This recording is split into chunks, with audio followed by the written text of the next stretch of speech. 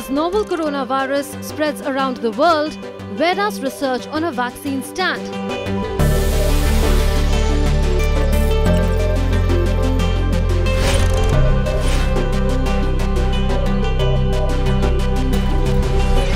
Can India, that produces 60% of the world's vaccines, with its production capabilities and distribution networks, unleash the full potential of its medical diplomacy?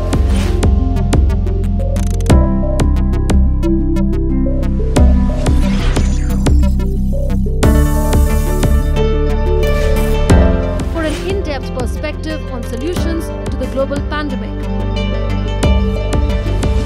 Watch BioQuest, researching COVID 19 on DD India and DD News.